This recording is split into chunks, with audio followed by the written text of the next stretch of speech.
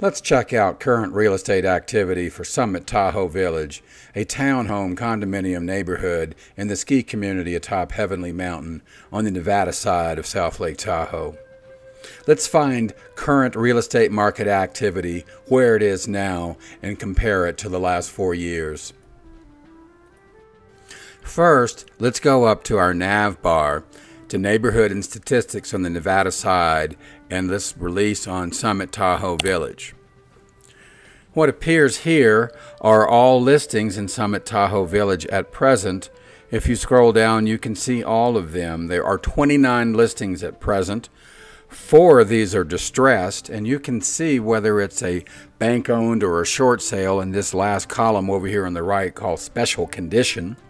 At present, 13.7% of all Summit Tahoe Village listings that are available for sale right now are distressed properties. By clicking on this link here, we can take a look at all escrow in Summit Tahoe Village.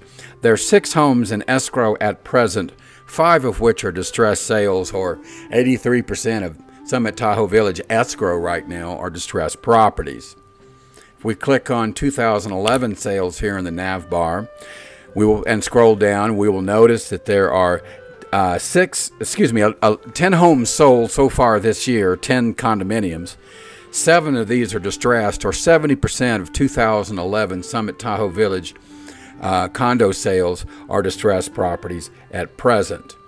By clicking on 2010 sales, and scrolling down, we will find that there were 26 sales in 2010. 13 of those were distressed, or 50% of the market. Uh, if we go back to the nav bar and click on 2009 sales, we will find that 33 uh, townhomes and condominiums sold in Summit Tahoe Village in 2009. 23 uh, of these were distressed properties, or about 69 percent. Uh, going back to the nav bar and clicking on 2008 sales and scrolling down, we will find that there were 18 condo townhome sales in Summit Tahoe Village in 2008. So if we take a look at uh, 2010 sales and compare them to 2009 sales, uh, there were seven more sales in 2009 than there were in 2010. There were 10 more distressed properties in 2010 than 2009, or a 19% increase in distressed property sales. And then if we take a look at from 2010 um, to 2011 sales, for example, um, there's 20% more distressed properties uh, that are being sold this year in Summit Tahoe Village than there were in 2010. So let's take a look at um, home values there or condo values there by clicking on this link and we'll bring this chart here into the middle of the page here. Uh, the median sold price for all 2011 sales is $111,550. Median sold price in 2010 was 169 in 2009, it was 180,250, and in 2008, you'll notice that the median sold price was $307,500.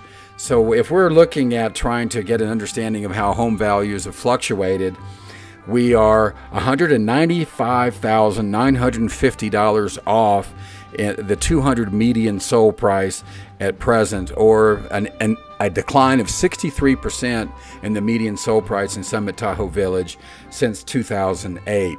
Um, this is primarily due to the increase in the, both the number and the percentage of um, distressed property sales. This is what has pretty much uh, been responsible for the median sold price decline in this uh, ski community neighborhood. So what we're looking at is prices have declined in Summit Tahoe Village, and this is really actually terrific news for buyers. There are many excellent uh, choices for townhomes and condominiums in this Nevada ski community at values that we haven't seen in many years.